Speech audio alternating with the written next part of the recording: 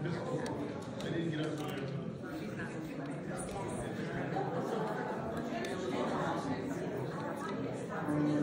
didn't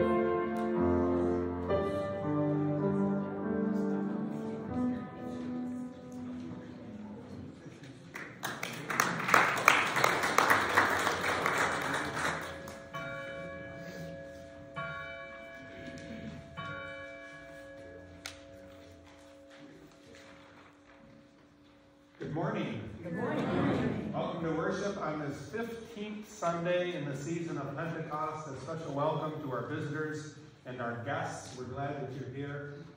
we hope that you have a few moments following uh, worship today to come down to the community hall because this year is the 20th anniversary of pumpkin spice being invented. and in honor of that, Lisa was in Traverse and she got a big thing of pumpkin spice creamer. Uh, so anyways, that's down there. That might tempt you to stay. But uh, we keep some people in our prayers this morning. Um, I just heard word yesterday that Cindy Sandman was in an accident. Did you hear this? And she's paralyzed. Um, kind of has a little bit of feeling. They're hoping that things will come back. But I think kind of from there down, like her arms, her legs, and things. So I had just heard that yesterday and uh, from Gaylord. And uh, so, anyways, prayers for Cindy. Uh, they did some surgery on C3 and 4, put a cage around her um, area here and trying to just sort of protect her so that maybe she can recover. Cindy um, lost her son, Jeff Sandman, with the accident with the wasp stings and things. You've heard that. So, yeah. Um, Chuck Cummings, Ann Rhodey's cousin, we're keeping in our prayers. Um, Deb Shaw, we're keeping in our prayers, who's here. Where are you, Deb? There you are. Wait, I should know you're sitting down. So Deb is recovering. Um, Keegan, our little granddaughter, had surgery to put a feeding port in. Came through it great, uh, doing well, thank you. Isaac and Brian Johnson in Croatia, the family and friends of Diane Pat, which is Susan Johnson's mother who passed away. Her services will be next week, I believe on uh, Sunday. Lana Harrison and Walt Pointer uh, families, both in our prayers. Walt service was held here yesterday. And uh, thank you to those who came and thanks to those who helped make that happen. I call this my bonus weekend because I got to see Carrie twice. Uh, so, Carrie, thanks for being here yesterday. Uh, Lisa Dykstra, Marianne Anderson, Bernie Urban in our prayers, Doug Duran as he recovers, Charlie Sessoms as he recovers, and uh, Mitchell Zwed in our prayers. Today, the flowers are in uh, memory and in celebration of the memory of Doug Luther by Carol, and uh, we remember and celebrate Doug's memory all the time around here. Crafters for the Bazaar, uh, meeting September 15th and 29th. The bazaar is set for November 5th. Big day for us. Uh, from 10 until 2 will be the bazaar. Um, thanks to everyone who helped in the garden this past week. If you haven't walked in the garden in a while, you might want to. It's absolutely beautiful right now. Youth event, Sunday, October 1st, after the 11 o'clock service.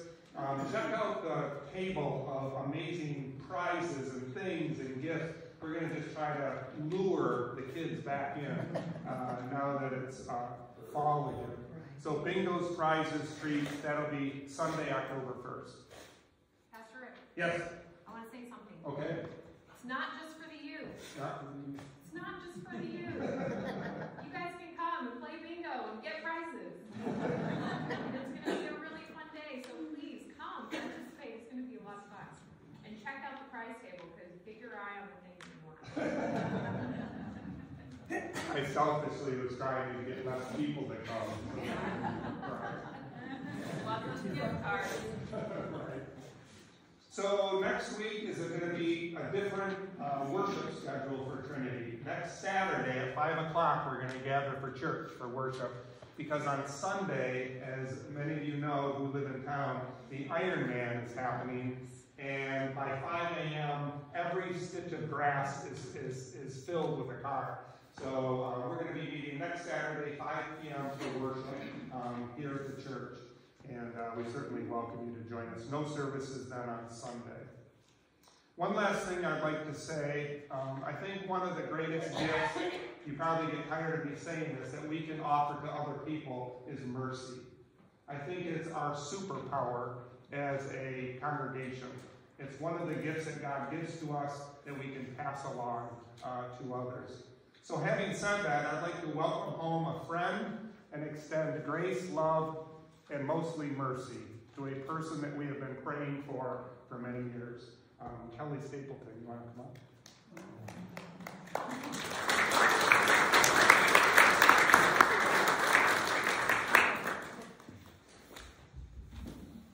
I, I just have a few things I want to say. Um, I want to say thank you for 10 years of your weekly prayers. Thank you for liking my little paper beads. Clearly, I had a lot of time on my hands. my favorite thing was to take paper that had been thrown away, like from bulletin boards or just around, and try to make something wonderful. And if I were a smart person, I might see some prison metaphor in there. I'd be happy to show any of you crafters how to do it, and you're gonna think, nobody's got time for this. I did my best to do my time with honor. I didn't want it to be a wasted 10 years. I lived in gratitude and with purpose, and hopefully I'll continue to do so. I'm glad Jesus loves sinners. and all of your prayers most certainly have helped me too many times to count. I was strangely far away from bad situations and trouble. Good staff, good officers, and good peers were always in my orbit. God is so good. So many of you offered comfort to me by sending me books and money. It's like that movie The Hunger Games when Katniss gets sponsors to help her survive. Well, uh, there's a prison parallel there. Um, I would find myself really struggling with an issue, and that night, during mail call, I would get a book called um, You Will Get Through This by Max Lucado, always seems like that. Um, sometimes there would be money that would show up in my account where I could buy beading supplies or yarn, and it was always what I needed when I needed it. And sometimes there was enough for Diet Coke and M&Ms too. and lastly, I want to apologize to everybody for my failings as a member of this community of good, good people. Not just this church community, but our community here in lovely Frankfort and Elberta. I want to apologize for my failings as a mother, Hugh, and as a decent woman. And I beg your forgiveness. And lastly, for all of you who received those crocheted hats in 2015, I'm really sorry. Thanks, Kelly.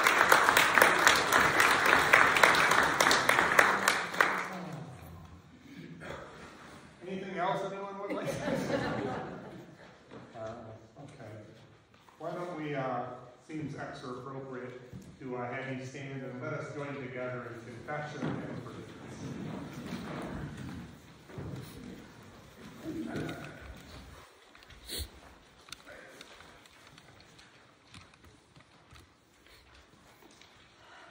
We say that we have no sin, we deceive ourselves and the truth is not in us. So let us confess our sin to God, who is faithful and just, and who has promised to forgive our sin and cleanse us from all unrighteousness. Amen.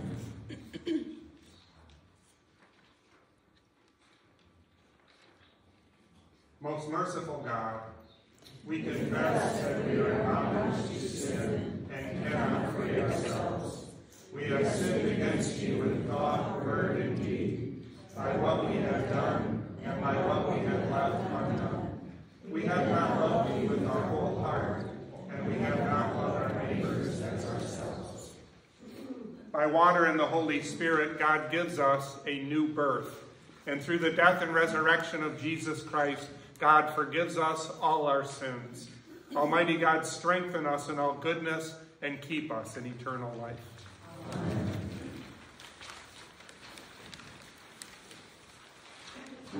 you.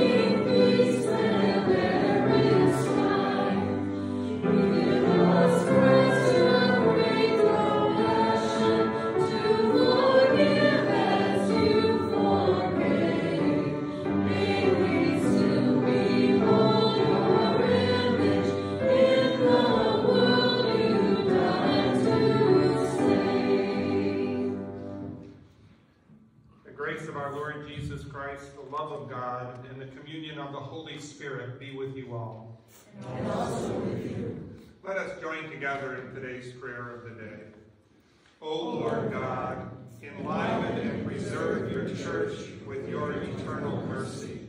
Without your help, we mortals will fail. Remove far from us everything that is harmful, and lead us toward all that gives life and salvation. This we pray through Jesus Christ, our Savior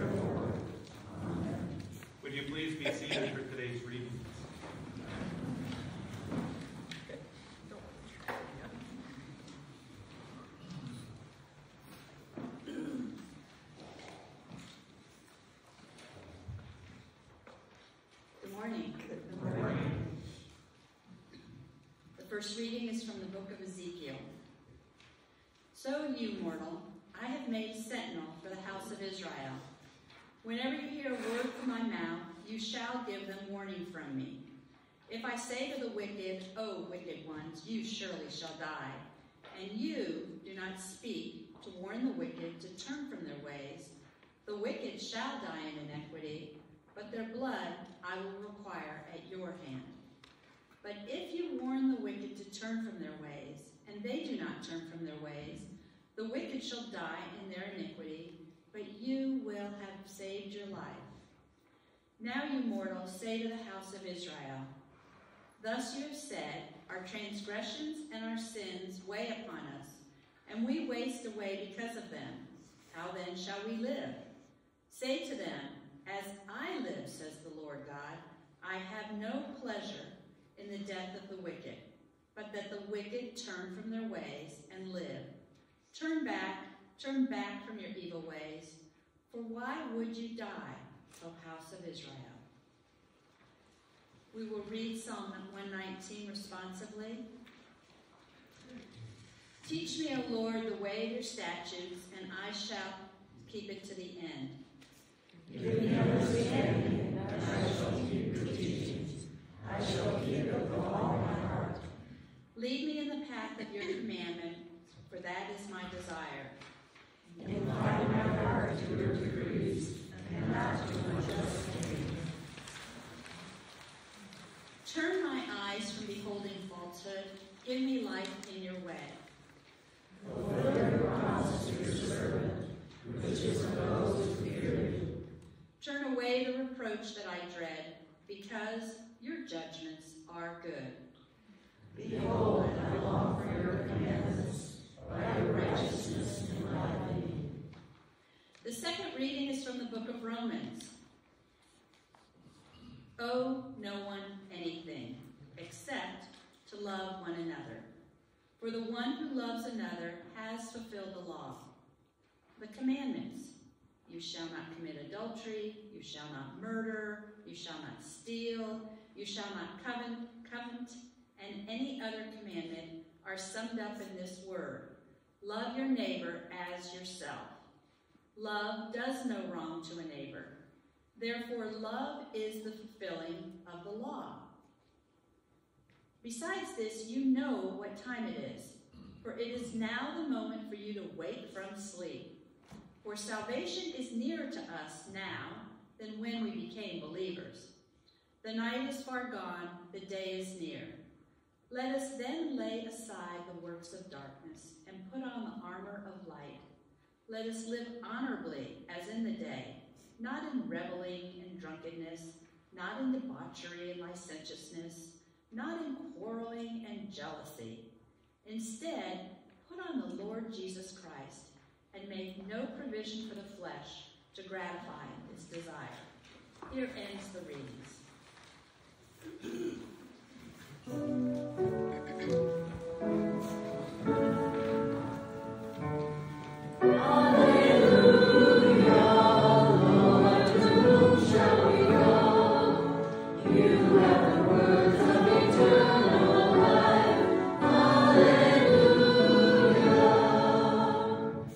Holy Gospel according to St. Matthew, the 18th chapter.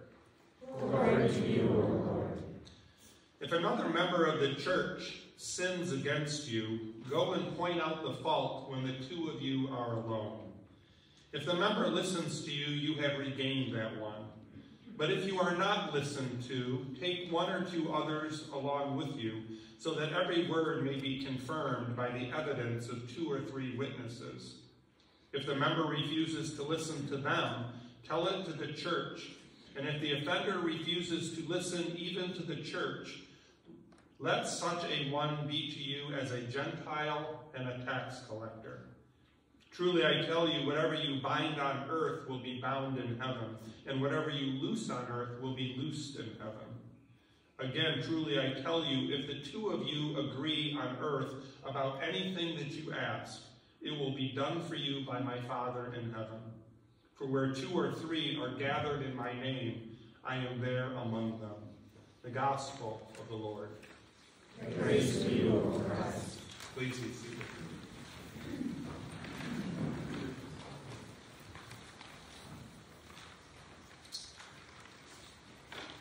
Self-differentiation. I know I've never started off a sermon with that word before. Self-differentiation is the ability to remain within yourself, uh, even in the face of stress, disagreement, anxiety, angst, anything that the world throws us. To be self-differentiated is to remain steadfast, faithful, literally, to, to remain in the same place in a calm sort of manner. Not easy to do. To not become too defensive, combative, or self-righteous, right? Those are our temptations that we want to jump into and kind of protect ourselves with. How difficult to do. Well, I remember hearing years ago that even the people who are super self-differentiated and do it better than anybody else can maybe do it 70% of the time. So, heads up, today's sermon is about you and about me too. Are you ready for this? How to get along with difficult people, right? According to Jesus, that is, uh, so that your actions and your behaviors and your words reflect God's will and Christ's love. That's the point. So the point isn't just how I can sort of survive difficult people. The point is how I can grow in my relationship with difficult people, right, as they come into our lives. So, number one, let's go through the steps. Three easy steps. I'm sure you guys follow these all the time. Number one, if someone sins against you, right, go and discuss it with a third party. Maybe your friends or the guy down at the bar, anyone with an opinion that might side with you. That's the best way. Uh, oh, hold it, hold it. Jeez, I, I read that wrong. oh, yeah, if someone sins against you, hurts you, speaks bad of you, breaks your trust, cheats on you, go to them, right? That's step number one, right? And usually step number one takes care of it. You don't even have to worry about step two and three. Go to them and talk to them in love, right? Tell them what they did wrong. Keep it between you two, only you two. And if they listen, great. And if you listen, even better. I kind of snuck that one in there, right? So if they listen and they go, oh, geez, I'm so sorry, I didn't even realize I hurt you, then you've regained that one. But if you listen to the words coming out of your mouth and you listen to what they're saying to you, you might just grow and be changed. But if they don't listen to you, then post it on Facebook. Tweet about how upset and how hurt you are. Post pictures on Instagram, and if possible, make a TikTok video secretly exposing how horrible they are. Oh, jeez, I did it again. I misread that. I might have read it wrong. So if they don't listen to you, remain calm. Find a couple of other non reactive people to help you out. Go to them again and try to connect in love all the while speaking calmly, even if they get defensive or reactive or angry, stay calm, stay connected. Try that.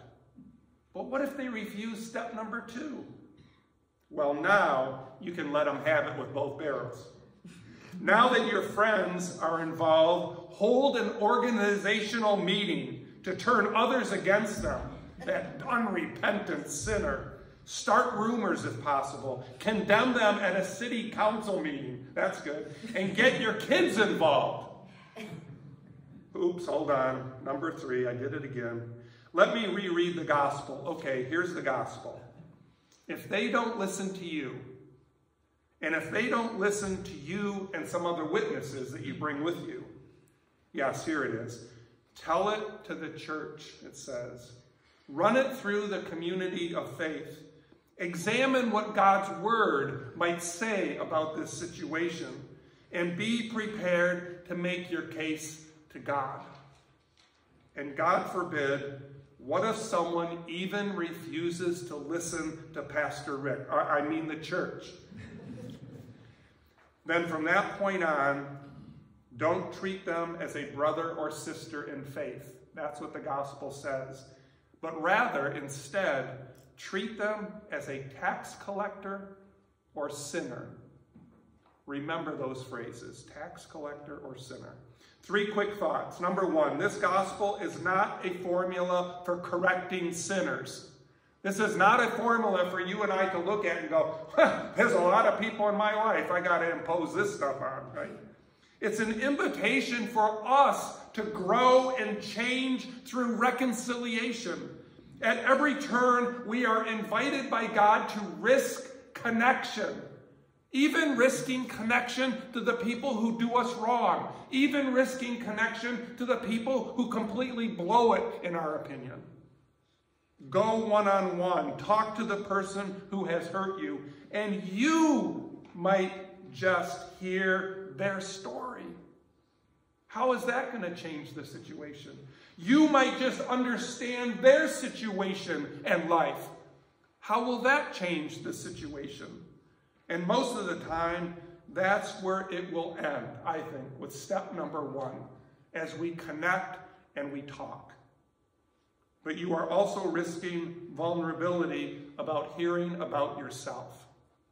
The underlying power in today's gospel reading is not about how you and I can correct somebody else, right? The power is that when we enter into a process of connection with somebody else who has hurt us, we will be changed. We will grow. We will become deeper. The, the, the, power of reconciliation is that when we reconcile with another human being, we are reflecting the power of God. That's why we go and talk to somebody. We might just hear about ourselves as we share our opinions and our judgments and our feelings. You open yourself to change. Number two, in this process, we are also stopping something really important. We're stopping the using of Jesus as a cosigner on our own assumptions or our own interpretations or our own opinions or our own judgments. We're going back to God's word, right? And we're not just using Jesus to back us up because we have an opinion or a judgment. Well, Jesus says, you know, this, and we start pointing the fingers. No. This is where we risk stop using Jesus as a cosigner on our own will. Because you know what? This is going to hurt some of you. You might just be wrong. You might just be wrong. Number three, I know that that last step, the third step, where you take it to the church, and, uh, it doesn't work out, I know that um, you didn't really hear it. Because if you would have really heard it, you would have busted out laughing. This is one of the funniest conclusions that Matthew writes in his gospel. Here it is. If they don't listen to you, and they don't listen to you and a couple other people, and if they don't even listen to the church, then treat them as a person that Jesus has come to love and die for. Tax collectors and sinners. Who did Jesus come for? He says, I didn't come for the righteous, good people. I came for sinners. That's who I came for. So if these people don't listen to you, by golly, you treat them as a sinner and you have to love them and be willing to die for them. What? That's powerful. If Christ has not written off people, then you and I can't write off people either if we're a follower of Christ. We can't write them off. We can recognize maybe that they're hurtful. We might recognize that we don't really trust them anymore, but we cannot write them off. We continue to love. So Jesus is not saying to ignore people's behavior when it's bad. Jesus isn't saying to us, just smile and be happy. Whatever people do, that's great. That's not what Jesus is saying here. But he is saying, speak the truth in love, right? If you're going to speak the truth to somebody, you have to do it with love. I think one of my pet peeves is people who say some really horribly mean things, and I go, wow, that seems really rough. And they go, well, it's the truth. That's a pet peeve of mine. Because I always want to say it's the truth, but where's the love? I mean, great, so you're speaking the truth. But you realize that the truth is also being spoken to you. Love without truth is sentimentality. It's just syrupy, it's sweet. You know, hey, everything's great, everybody's fine. That's not what Jesus wants. But neither does he want truth without love, which is brutality. Hold them both together. I think today's gospel is an invitation for us to hold them both together. Go to them and be open that maybe you are the one that needs to be forgiven.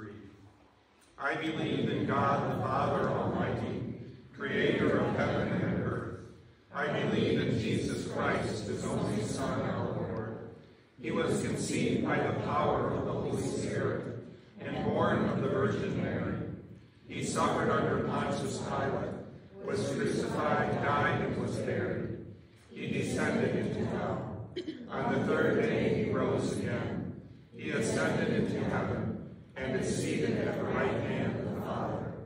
He will come again to judge the living and the dead. I believe in the Holy Spirit, the Holy Catholic Church, the communion of saints, the forgiveness of sins, the resurrection of the body, and the life everlasting. With the whole people of God in Christ Jesus, let us pray for the church, for those in need, and for all of God's good creation.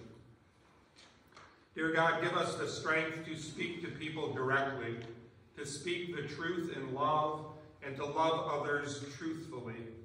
Give us the wisdom to follow your will, to expose our shortcomings and wrong judgments, and give us the grace to grow and change instead of insisting on our own way.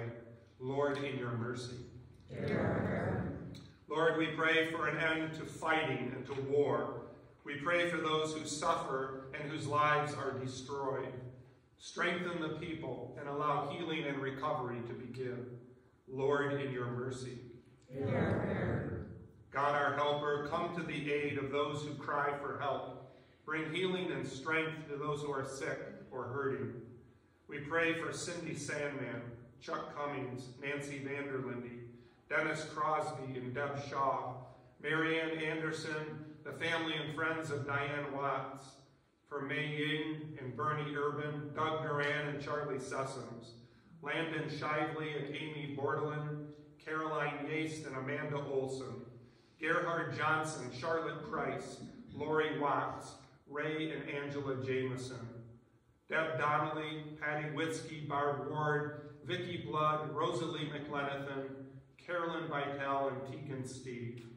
And for the names we carry in our hearts, Lord, in your mercy. We give thanks for the flowers this morning as we join with Carol Luther in celebrating the memory of Doug, a friend, a church leader, a compassionate and caring person who kept the grace of God always before him. Lord, in your mercy. Into your hands, O Lord, we commend all for whom we pray, trusting in your mercy, through your Son, Jesus Christ, our Lord. Amen. May the peace of our Lord be with you always. And also with you. Please take a couple moments to greet those around you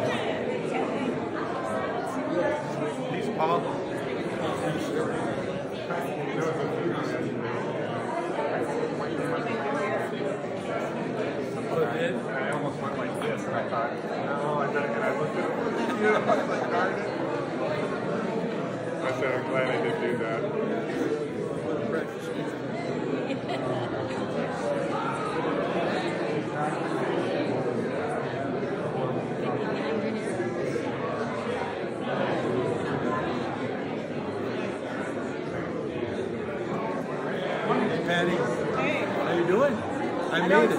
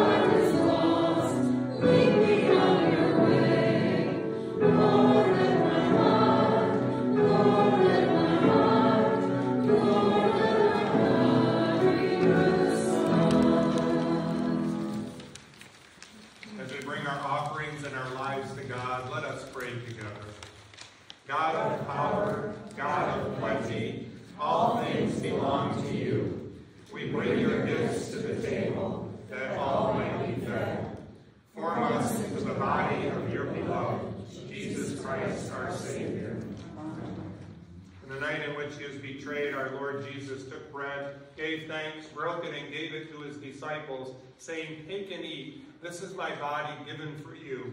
Do this for the remembrance of me. Again, after supper, he took the cup, gave thanks, and gave it for all to drink, saying, This cup is the new covenant in my blood, shed for you and for all people, for the forgiveness of sin. Do this for the remembrance of me. Let us join together in the prayer that our Lord has taught us. Our Father, who art in heaven, hallowed be thy name. Thy kingdom come, thy will be done, on earth as it is in heaven. Give us this day our daily bread, and forgive us our trespasses, as we forgive those who trespass against us.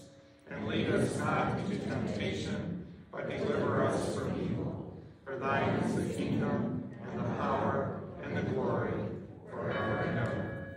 Amen. Please be seated, but come, for all things are ready, and all people are welcome at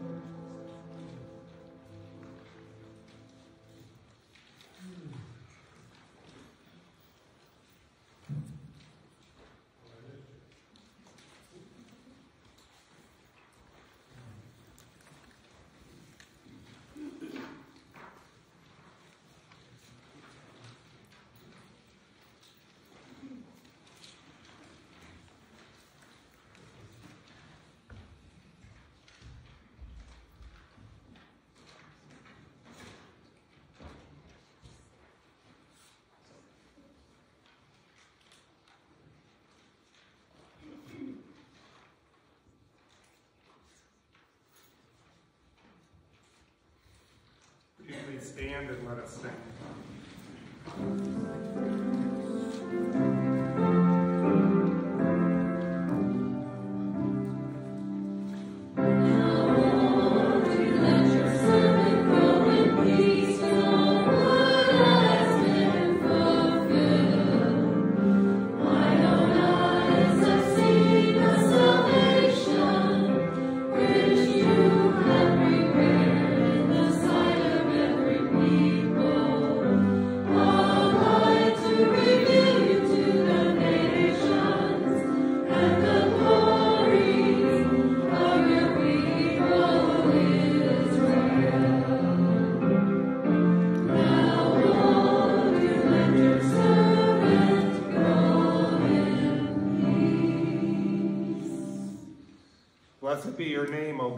For we have feasted on your word, Christ Jesus, the joy and the delight of our hearts. Strengthened by this food, send us to gather the world to your banquet, where none are left out and all are satisfied. In Jesus' name we pray. Amen. The blessing of Almighty God, the Father, the Son, and the Holy Spirit bless you and remain with you always. Amen.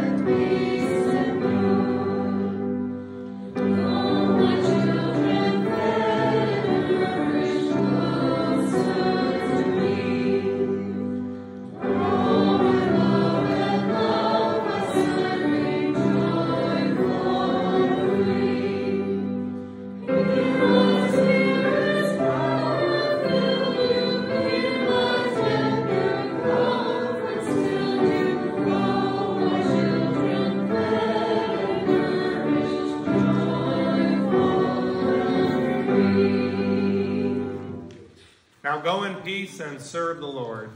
Thanks be to God.